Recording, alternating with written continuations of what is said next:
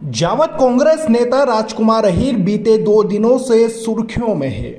और ये सुर्खियाँ बवाल मचा रही है। राजकुमार अहीर का एक गुप्त सनसनीखेज ऑडियो वायरल हो गया है, जिसमें वे अपने समर्थक रमेश से भाजपा प्रत्याशी ओम प्रकाश सखलेचा को जिताने और कांग्रेस प्रत्याशी समंदर पटेल को हराने की सुपारी दे रहे हैं। राजकुमार अहीर सखलेचा से पाँच लाख रुपए धर्मशाला के नाम पर लेकर गाँव वालों से भाजपा के पक्ष में वोट डलवाने की बात कहते हुए सुनाई दे रहे हैं। इसके साथ ही समंदर पटेल को हराना अपना मकसद बता रहे हैं। ये ऑडियो वायरल होने के बाद नीमच सहित प्रदेश भर में बवाल मच गया है। राजकुमार अहीर अपनी ही पार्टी में घिर गए और पूरी कांग्रेस उन्हें गद्दार बता रही है। जिसके बाद कांग्रेस अलाखमान ने शिकायत की पुष्टि के बाद एक पत्र जारी कर राजकुमार अहीर को छह साल के लिए कांग्रेस पार्टी से निष्कासित कर दिया। ये लेटर शुक्रवार देर शाम जारी हुआ है, जिसमें संगठन प्रभारी राजीव सिंह के हस्ताक्षर भी है। बताया जा रहा है कि पूर्व सीएम कमलनाथ के आदेश पर ही ये पत्र जारी कर राजकुमार अहीर को निष्कासित किया गया है। कांग्रेस पार्टी के नेताओं और कार्यकर्ताओं का कहना है कि कमलनाथ जी ने राजकुमार अहीर पर सबसे ज़्यादा विश्वास किया और वही राजकुमार कांग्रेस के साथ गद्दारी कर रहा है। इधर राजकुमार अहीर से बातचीत करने की कोशिश की गई लेकिन उनका फ़ोन बंद पाया गया। सुनिए ये ऑडियो। बिल्कुल सर हाँ ठीक है सर। और अगर इसको पूरन को वोट डालते हैं तो पूरन जीतेगा तो है ही नहीं। हाँ। तो अपना जो मकसद है वो पूरा नहीं हो पाएगा। तो कैसे क्या करना पड़ेगा? भाई मेरा ये कहना है यहाँ सकलेचा के लोग कौन है? या हाँ। प्रमुख लोग कौन है? हाँ। इतने पाँच सौ वोट है ज़्यादा है दानी में? ज़्यादा है ना सर? पाँच सौ से ऊपर है। जो प्रमुख समाज के मीटिंग कराओ। हाँ। वो धर्मशाला है समाज के लिए पाँच एक लाख रुपए मांगो उससे सकलेचा से। सकलेचा से? हम्म। हाँ बोल के गया भी है उस दिन वो सर पर वो तो झूठ बोलता है वो तो करता कुछ नहीं नहीं नहीं सा- नगद। बोलने वाला काम नहीं नगद के कौन आया था उस वो खुद भी आया था उस दिन बता रहा था कि मैं ऐसा करूँगा ये मेरी जवाबदारी है। ओम प्रकाश सकलेचा? हाँ। हम्म वो सब बात की बात है बाद में करना। पहले यहाँ तो नगद पैसा चाहिए। हाँ वो बता गाँव वाले बोलते रहते पर वो उसको सर वो तो बिल्कुल हारेगा वैसे भी पंचायत पोलिंग से हारने वाला वो तो। पूरा गाँव को सकले से हारेगा तो अपना मकसद पूरा नहीं होगा ना? तो फिर पूरन को देने से भी वो मीटिंग कराओ चार पाँच प्रमुख लोगों की। हाँ। और कहना भैया पाँच लाख रुपए रख दो। ठीक है सर बताते हैं। कौन देखता है बीजेपी का हम? वो मुकेश करके यहाँ तो दो वो पुराने थे उनको तो उनसे उनसे तो लोग नाराज़ है उनके पास तो कोई जाते नहीं है कोई नए उनको, उनको छोड़ दो। मुकेश कौन सा है? वकील? हाँ वो भी है एक दूसरा भी हाँ वो वकील ही है एक तो। मुझे समझदार है क्या? नहीं। नहीं वो उसका चट्टू खास हो तो आप अपन बोलेंगे तो उल्टा जाएगा। उल्टा तो क्या अपन सुन लेगा लेकिन वो उल्टी बात करे ये हाँ। हाँ। ये ये तो तो उन्हीं के माध्यम से मीटिंग कराओ। नहीं वो अगर आप ये ऐसी बात बोलेंगे तो वो वापस उसको बोलता है ऐसा हरामी है वो। किसको?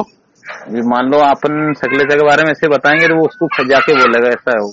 हम्म, हम्म, हम्म। अपन तो रमेश उनके जो लोग एक का फ़ोन आया था हाँ। तो मैंने कहा जहाँ तुम कर सकते हो करो मदद। हम तो उसकी मदद नहीं कर रहे हैं समुंदर की। ऐसा। हाँ ठीक है। हम तो हम बिल्कुल नहीं कर रहे सर। हमने जो आपको मिला था 170 उसमें से लगभग हमने जोड़ रखा है 40 40 मिलेगा समंदर को लगभग मान लो हो सकता है। और पैसे के दम पे मान लो थोड़ा बहुत रमेश? हाँ। तुम बात करो किसी से इनको छोड़ दो वकील को। जो ठीक प्रमुख लोग हैं हाँ। अगर कर सकते हो तो करो नहीं तो फिर उनको किसी को बोले उनका आदमी कोई आए तुम्हारे पास। हाँ। या मुकेश के पास जाए। हाँ। मुकेश जमा लेगा क्या? वो जमा तो सकता है पर वो क्या थोड़ा इसका थोड़ा भरोसा नहीं होता इसलिए। इनके भरोसा नहीं। का। हाँ वो मतलब वो आश्वासन दे देगा फुल फाट को। नगर हाँ, नगद लो ना। आश्वासन का समय नहीं अब। अगर ये लोग कोई दो पाँच लाख रुपए चार लाख पाँच लाख रुपए देते हैं तो हाँ। बातों से पलटते तो नहीं है ना? पलट जाते सर ये तो इनका कोई भरोसा ही नहीं सालों। तकलीचा नहीं मतदाता अपने दानी की उनकी बात कर रहा हूँ। ढाणी का वो तो नहीं पलटते फिर वो। अगर हाँ, हो तो ये गया देखो इनमें से है ना? तो सर किसको करना है सोनी है सरपंच बीजेपी का। हाँ। तो कल मुझे मिला था मोरवन में। हाँ। तो मैं उसको किसी को बुलवा के उसको बुलवाता हूँ। मतलब उनको बुलवाते हैं। ठीक है ठीक है ना? आओ। तो ठीक है। वोट किसको करना है? आपका बाकी अपने वोट कहीं इसको अंदर को बिल्कुल नहीं जाना चाहिए नहीं है? समुद्र को समुद्र को तो नहीं जाएगा सर वो तो पक्का ठान रखा है हमने। चाहे कुछ भी हो जाओ। बस लेकिन कारण क्या है? चारण पूरन ने भी अपने खिलाफ पचास लाख रुपए लेके काम किया था साले ने। नहीं तो अपन पिछले टाइम में जीत जाते। अच्छा वो अपने हम्म। खिलाफ था पहले न्यू देखो तो तीनों बीजेपी के हैं। हाँ तीनों बीजेपी के तो तो कमलनाथ जी ने बोला इसलिए फार्म उठा लिया यार। ये तो चुनाव जीत जाते चार के बीच सर रहना था आपको यार वो आपने आप बहुत लोग हमारे लग, आज भी लोग परेशान है इसलिए तो पटेल से नाराज़ है। आप आज भी मेरे गाँव में मज़ाक नहीं है सर आज भी पूर्ण से ज़्यादा आपको चाहने वाले थे। हम्म, हम्म, हम्म। वो मेरे को इधर भेज दिया ना अचानक नहीं तो आता मैं। हुआ तो सोलह तारीख का आऊँगा एक बार। ठीक है पंद्रह या सोलह में। ठीक है? ठीक है। बाकी रमेश ये जमाओ। है ना? ठीक है। वैसे बताइए जो राजकुमार अहिर है जावत के कांग्रेस नेता उनका एक ऑडियो सोशल मीडिया पर वायरल हो रहा है जिसमें भाजपा का साथ देने की बात कर रहे हैं। आपने भी सुनी होगा वो ऑडियो क्या है मामला? हाँ सुना है। मैंने और प्रदेश कांग्रेस से संज्ञान लिया प्रदेश कांग्रेस ने उस पर और उस पर उन्होंने कार्रवाई करी राजकुमार जी। क्या है क्या यहाँ से शिकायत रही है? क्या जावत के लोगों ने की संगठन के लोगों ने शिकायत की? क्या मामला? नहीं समंदर पटेल जी ने उसको खुद उसको देखा है। उन्होंने खुद भेजा है उस चीज़ को और उस पर प्रदेश कांग्रेस ने संज्ञान लेकर उस पर कार्रवाई करी है। जी। जो कांग्रेस नेता राजकुमार अहिर वे कमलनाथ के खास माने जाते हैं वे मुख्यमंत्री की दौड़ में मुख्यमंत्री का चेहरा कांग्रेस का।